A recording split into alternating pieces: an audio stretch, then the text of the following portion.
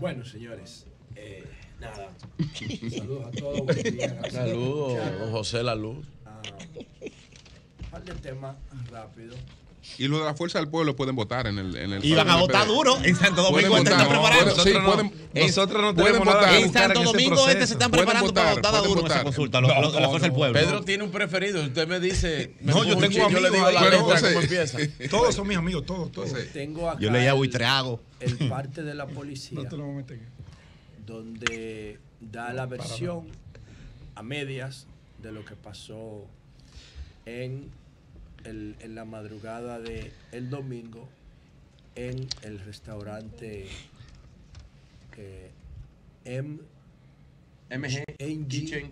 Kitchen. Kitchen. MG Kitchen, porque la, la G es de grill. De Es como, eh, ellos, para mí, como que ellos copiaron el de allá. Eh, Son del mismo dueño los Ah, dos. míralo ahí. Son Ah, del mismo dueño. Bueno, pues entonces nada, lo que dice la policía es lo siguiente, señores, porque aquí hay, una, aquí hay un observatorio interesantísimo. El presidente Abinader tiene que escuchar esto que vamos a decir, Chubaque, porque el tigueraje que se mueve aquí es demasiado fuerte y a cualquiera lo venden y lo ponen a cargar los cuartos. Miren lo que dice la misma policía sobre el tema de MG Kitchen, donde hirieron a toda la gente y mataron a uno, Edwin, que trabajaba como supervisor de bares y restaurantes. Dice aquí, siendo las 5 de la mañana del 26 de- septiembre, fue de nuestro conocimiento, esa es la policía, yo estoy leyendo el parte de la policía, que a las 4 de la mañana, a las 4 de la mañana fue conducido el cuerpo sin vida al hospital de las Fuerzas Armadas de Edwin José Mejía. Residente en Santo Domingo Norte e ingresado en el mismo hospital José María Cruz, ese es Ale Ale, el dueño de la Santa a causa de mm, heridas múltiples por proyectil de arma de fuego. El último, múltiples heridas del mismo tipo, que se le ocasionaron en el momento en proceso de identificación en que se originó una riña. Según la nombrada Mara Tavares, que era la que ustedes mencionaban ayer, Correcto. sin especificidad. Ella es una celebrity de las redes estaban sociales. comparando con Tamara Martina. Mara es la, la que sale Mara como... Tavares, sí, Mara sabe. es la que sale como dueña de la Santa. La sí, rubia. ella la administradora. La rubia. Sí, una mujer bellísima. Entonces, Mara dice... Ella era, ella era pareja de Jaque Mate. Sí, ¿Te de Jaque Mate, Mate? uno de los asistentes de César, el abusador. No, el Jaque Mate era el que montaba los shows y las cosas. Yo lo conozco, yo lo conocí, lo, lo- sé lo que estoy diciendo, más o menos. Pero si era, si montaba los shows, ¿en cuáles discotecas la montaba? En la de César. Entonces, eh, dice Mara a la policía, le dice, y oigan qué interesante, que se encontraba en la discoteca eh, Mr. Grill, ubicada en la calle Gustavo Mejía Ricard, del ensanche Naco, ingiriendo bebidas alcohólicas en compañía de la persona que falleció y de la persona que está herida, de Ale, el dueño de la santa. En eso, el herido, Alex, y el osiso, Edwin, comenzaron una discusión con una persona que ella no pudo identificar. Cuando ella dice que ella no pudo identificar, ella sabe todo perfectamente. Entonces, esa persona que ella no pudo identificar, supuestamente, es el hijo del gringo. El gringo murió hace un año por problemas renales crónicos, estaba preso a 30 años, es de la, es de la estructura de, de la que salió César y que trabajaban con Florian, el gringo y el chino, que se disputaban las plazas de la parte norte de la capital. El chino, el gringo estaba preso desde el 2008, eh, que le encontraron una jipeta con 400 mil dólares adentro. Entonces el hijo de él, del gringo, habría ido a buscar su novia a MG eh, Kitchen. La habría ido a buscar. Ella me dice aquí, mi hermano, déjame ver, no lo voy a tirar para adelante, pero No, voy a no, decir lo que él me dice. No, exacto. Bueno, dice aquí, voy a leer una nota y la voy a leer porque la persona que me lo envía mm, me merece muchísimo crédito. ¿Qué es lo que dice Mara, la rubia de la santa, que no sabe con quién estaba discutiendo su, su, su pareja. Bueno, lo que dice aquí lo siguiente. Návila, la ex mujer de Don Miguelo, la bailarina de, de, de, de extremo, Navila, Navila Tapia, Estaba- su reina Navila Tapia. Estaba en el lugar cuando llegó su marido, el hijo del gringo, y se la quiso llevar por la fuerza. Cuando eh, la seguridad lo intentó sacar a él porque estaba generando problemas, él se devuelve y le echa un trago encima a Navila. El marido de Mara, Ale, se metió a defender a Navila y se le fue encima al hijo del chino, al hijo del, del- del gringo. gringo. Pelearon y el amigo Edwin, el muerto, se metió a defender a Alex, el dueño de la santa. Y ahí es que sacan el arma y disparan y se la descargan a Edwin. Entonces, ¿qué pasa? Que no se sabe quién es que dispara. Si dispara el hijo del, grin- del, del- del- del gringo o dispara uno que anda con él. Entonces, ¿por qué yo hago este relato? Bueno, porque dice la rubia de la santa que ella no sabe quién fue que disparó. Ella estaba ahí, ella sabe todo. Entonces, eh, la policía da ese informe preliminar. Yo estaba leyendo todo esto porque ayer yo le decía a mi compañero, le decía a mi compañero que para mí eso no era sicariato. Porque no tiene ese perfil.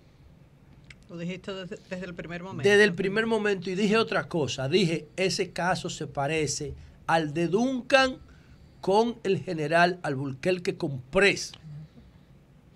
Persona borracha que no saben manejar las emociones y terminan entrándose a tiro porque como en el caso de Duncan con el general Comprés, en la noche, señores, y se lo digo de consejo a las personas que nos hacen el favor de escucharnos, en la noche, después de las 10, el Estado Dominicano no le garantiza la seguridad a nadie. Eso baja un 80 a un 90%. No se la garantizan a ninguna hora. Pero en la noche la situación se agrava porque las personas que están en la calle a la una de la mañana o más, esto fue a las 4 de la mañana, después que si no están trabajando o salieron por una emergencia de salud, ¿saben lo que están haciendo? Bebiendo romo y consumiendo droga. ¿Qué hace una persona en la calle a las 3 de la mañana que no esté trabajando o que no esté en la calle por una emergencia? o en una llegó al- cabaña. o que llegó al país. En la cabaña, que tú vas a la cabaña y tú no vas a beber romo. Es a beber romo y a consumir tú- droga. Bueno, ya, ya, tú ¿A estás aquí, estamos, no pero se hacen otras cosas más de beber romo. ¿no? Bueno, la, lo que la otra cosa que se hace necesita la droga como estímulo. Necesita la droga como estímulo. Entonces, el riesgo aumenta muchísimo. Ahí en ese establecimiento, a las 4 de la mañana, pudo haber ocurrido una tragedia mayor. Pudieron haber muerto varias personas. Igual que en el, en el hot dog, donde mataron a Duncan. Lo que pasa es que el general encontró a Duncan solo en una esquina, acorralado atrás de una banca, en un callejón sin salida. Pero si ese general encuentra a Duncan en medio de un grupo de gente, le hubiese tirado porque le descargó la, la pistola al otro, al que lo agarró. Entonces, el mismo patrón de comportamiento del caso Duncan con el general Albuquerque que compré es el mismo patrón de comportamiento de este caso de la Santa. El mismo patrón de comportamiento. ¿Y cuál es ese patrón? ¿Cuáles son los elementos comunes? Personas armadas, consumiendo drogas y manejando en la ciudad. Sin problema. El paraíso. El paraíso. Cuando ocurrió el caso lamentable del nieto de Gómez Díaz, el director de la DGC dijo, ah, bueno, es que ellos andan consumiendo alcohol en la calle de noche. Hoy, ¿para qué que usted está? Entonces, baja muchísimo la vigilancia preventiva y la vigilancia reactiva cuando llega la madrugada. Yo no le aconsejo a nadie que no tenga esa necesidad extrema de estar en la calle en la madrugada, porque en la República Dominicana no hay seguridad a ninguna hora, menos en la madrugada.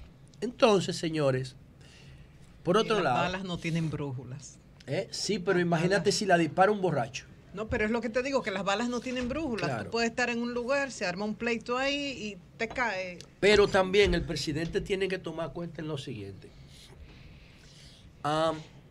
Ese lugar, dice la policía, no yo, dice la policía que se generó el problema en medio de un consumo de bebida de alcohólica a las 4 de la mañana. Es normal eso, es legal.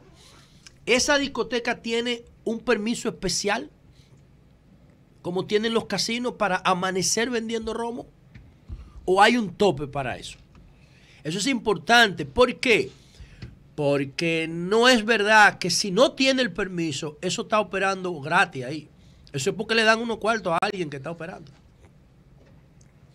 Le dan unos cuartos a alguien y por eso es que eso está operando. Si no, eso estuviera cerrado a las 2 de la mañana. ¿Por qué todo el mundo coge para allá después de las 2? ¿Por qué? O porque las demás cierran. Porque si no, no cogieran para allá. Al, al primero que investigar es al empleado de salud pública que estaba ahí. Al empleado de salud pública. Al supervisor de salud pública. ¿Y qué supervisor? Son muchos. ¿Qué? Porque ¿Y por qué tú también. dices que ahí había uno? En la prensa ahí había Ah. un supervisor. Uno, uno encargado de supervisar los bares. Ok. Pero oye, el muerto, el muerto trabajaba en eso antes, supervisando bares. Oye, ¿con quién andaba? De- del Ministerio de Interior y Policía, ¿no? Sí, del programa de, de, de- de Ah, Bebidas alcohólicas. Sí. Entonces, entonces es importante esto porque cuando viene a ver el límite de horario, lo que es un negocio para un grupo de gente que están buscando unos cuartos. Entonces eso del límite de horario, eso hay que revisarlo. ¿Y no será que ya esto es un narcoestado? No, No, pero no, ¿cómo ha imposible. sido? No, no, no, no a ser. No, no, No, no, no. Yo no conozco. yo no, no, no, no, francamente. Yo no- Esto- nadie está hablando. Pero no, No, no, estoy diciéndolo ahora. Ahora, aquí hay una Esto es un legitimidad. narcoestado. Este Aquí país hay- es un narcoestado No, ya. aquí hay una confabulación en social América, con el Latina, narcotráfico. en narcotráfico. América Latina no hay un narco. Oye, penetran en todas partes. Tú ves que ahora son productores de música. Bueno, llegó el ministro. No. Ahora ni es siquiera, ni siquiera México. Ahora son productores de música, dueños de es establecimientos. No, México no es un narcoestado ¿Y tú porque para que que sea un no para que se para definirlo como un narcoestado, el gobierno, las autoridades, Debe el parte. Congreso tienen que ser parte. ¿Pero es que son? No, ¿En no, México no, son? No, no, no, no. En México no, no, México yo no conozco un país Oye. que una sea un Nacional dura. No lo conozco. No, Ni bueno. siquiera Haití. Bueno, no hay un país que yo conozca. No es que no hay Bueno. una relación a nivel institucional, hay complicidades. Holanda. Holanda es un narcoestado. Bueno. Para mí, Holanda. ¿Por qué en Holanda. Holanda? Claro, porque todas las drogas en Holanda son legales.